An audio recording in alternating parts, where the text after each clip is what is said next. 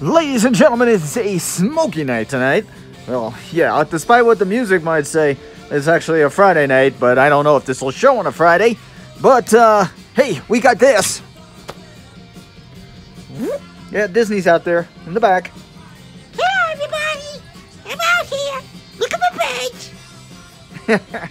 What's in that can? It's a yellow can, too. Uh, I gotta talk as loud as I can over the music, right? So I don't get a violation. Well, I'm gonna get a violation. I don't care. Anyway, come on, gonna get this out of the koozie if I can here. Wow, having troubles. Woo. Yeah, the smoke it's in your eyes. There we go. Hopefully it don't burn. we got this. Woohoo! What is that? Ugh. Golden Glow Hazy Lager. Lager.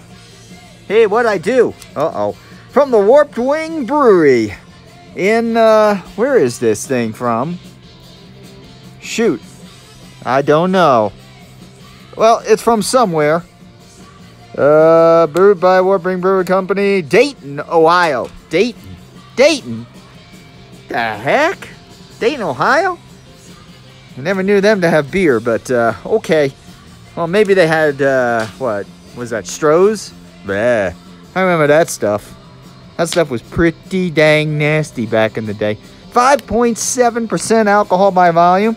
Hey, not bad for a uh, for a lager. All right, trying to get it back in the koozie here, so I'll just keep uh, talking and showing you the, the fire. Here we go. All right, let's get this sucker open.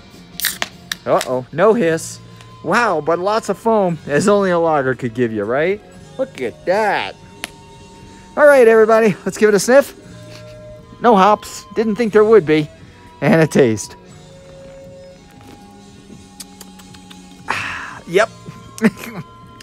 ah. Tasteless as well, but that's okay.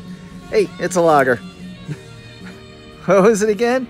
Golden Glow from the something something brewery in Dayton, Ohio. Whoa. I'm just squeezing the can here. We'll see you next time on Guns, Knives, and Beer. Hey, Disney!